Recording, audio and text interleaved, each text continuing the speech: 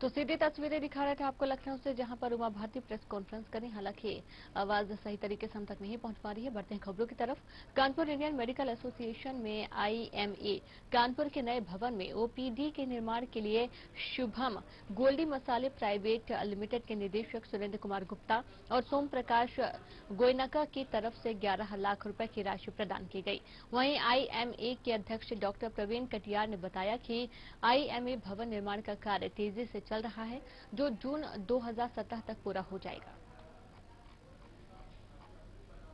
अब जो कानपुर आईएमए है, जो कि सबसे पुराना आईएमए है, जो अपना शताब्दी वर्ष पाँच साल पहले पूरा कर चुका है उन्होंने एक संकल्प लिया है कि अपने समाज से खासतौर से जरूरतमंद और नीडी लोगों से जुड़ने के लिए कुछ ऐसा कार्य किया जाए जिससे सारे लोगों का फ़ायदा हो।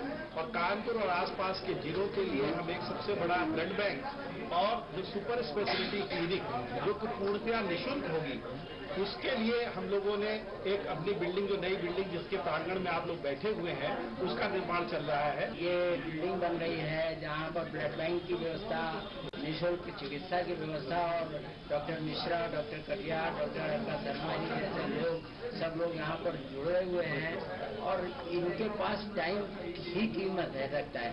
और ये लोगों के पास टाइम निकाल करके जब इतना सुंदर कार्य के लिए आगे बढ़ करके आ रहे हैं तो हम लोग तो बहुत अपने आप को छोटा पाते हैं।